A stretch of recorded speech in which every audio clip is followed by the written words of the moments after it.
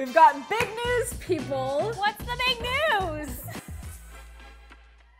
What is up, Ibble fam? Welcome to the Ibble Bitch Show. My name is Sherry. And my name is Kelsey. And we know there's a lot of news, but little time, so we cover the top trending stories each day in under five minutes. So let's get to it. California has always been known for its forest fires. However, a fiery tornado threw everyone for a loop on Saturday as a swarm of spinning flames spread throughout Lassen County.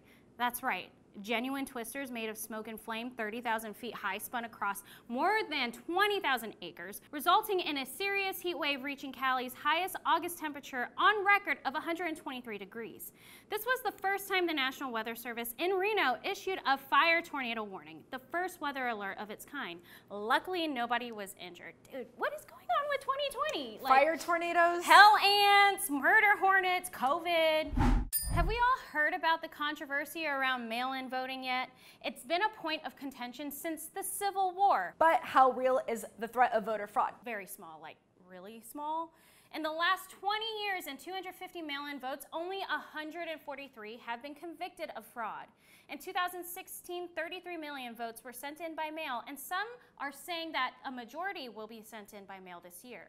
We are left to wonder if the infrastructure is in place to mail and count all of the votes. Why are we dealing with mail? I don't know. like, you made a good point. Like, why isn't this online yet? Like, this needs to be online, people. I mean, Civil War, that was a long time ago. That's been a minute. It's 2020. Yeah, it's 2020. We have the technology.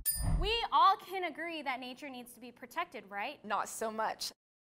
The Trump administration finalized a deal to open up part of the Arctic National Wildlife Refuge in Alaska for potential oil and gas drilling. Under the law, the agency must conduct at least two lease sales of 400,000 acres each by the end of 2024. The land is believed to hold billions of barrels of oil, but is also one of the largest remaining stretches of wilderness in the U.S. The battle over the land has been going on since 1980, and although the plans have started, it is actually unclear on if or when oil companies will lease the land. The legal battles could last for years to come. Like, do you support the oil industry? I, my brother's in the oil industry. Yeah. I don't necessarily support it. I support my brother. Yes. However, I do not agree with like messing up untouched wilderness. Yeah. I do not agree with that at all. However, I will take into consideration that Alaska is a very large place. This is true. But you know, renewable energy is the future, so hopefully we're going to start looking at that as an option too. So so Facebook Messenger and Instagram are getting married. Dun, dun, dun.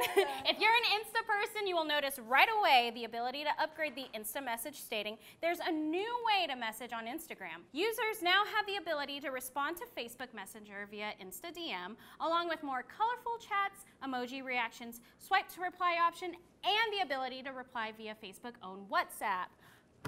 We gotta go to this wedding. We gotta go to we gotta wedding. go. Gotta go. Gotta go. Gotta it's gonna be open bar. Woo! The Trump administration approved a private security company to detain migrant children and families in major hotel chains who have been taken into custody at the U.S. border. Under the unregulated new policy, children are sent home to their countries rather than being regulated in the federal detention system, making it nearly impossible for their parents to track their children. What do you think about this, Kelsey? I think it's the first step in the right direction. Mm -hmm. Although unregulated is not cool. Yes. Also, these detention centers are not cool. So hopefully it'll just steer us in the right direction yeah. and come together the more people get involved. I personally feel inspired to get involved. So apparently there's a debate going on in the emoji world. What? weird. Yeah, I didn't know this was a thing, but are emoji reactions actually a good thing? Some feel emojis are an efficient way to show acknowledgement when busy. Some feel it is rude and lazy, and some just say it's a pen. Are emojis taking away true virtual connection? What do you guys think? You know, I guess in the grand scheme of things, uh, digital interactions is taking away from true connection. Mm -hmm. However, I think that emojis are not a bad thing. I know. Like, like, why take away emojis? Why are we arguing about this? Like, there's so many other things exactly. going on in the world that we're arguing about emoji uses. I love emojis, so if you don't like them, don't message They're me. fun. Thank you for tapping into the daily news with us. Have a great day, and we'll see you tomorrow. Hasta mañana.